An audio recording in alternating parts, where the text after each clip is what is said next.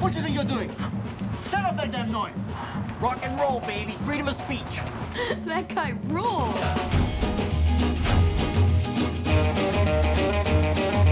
They can't believe we made it. We graduated high school. How totally amazing.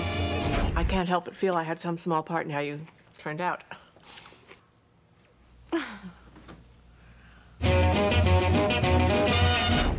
Sometimes I think I might be going crazy from sexual frustration. You just hate every single guy on the face of the earth. That's not true. I just hate all these extroverted, pseudo-bohemian losers. You guys up for some reggae tonight?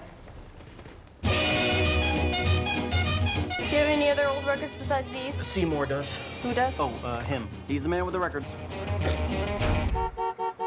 Oh, what are we in slow motion here? Come on, what are you hypnotized? Have some more kids, why don't you? जान पहचान हो जीना आसान हो I'm allowed to place one student from your graduating class for a full one-year scholarship, and I took the liberty of submitting your name.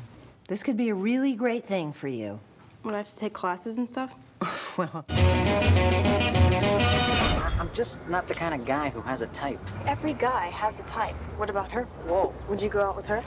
As long as she's breathing.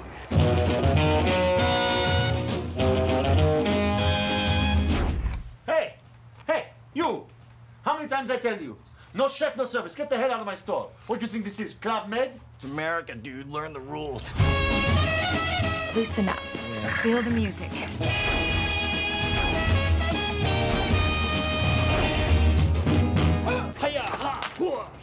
Ghost World. The underground comic book comes to life. We have to get together this summer. Yeah, that'll definitely happen. Written by Daniel Clowes and Terry Zwigoff. Directed by Terry Zwigoff.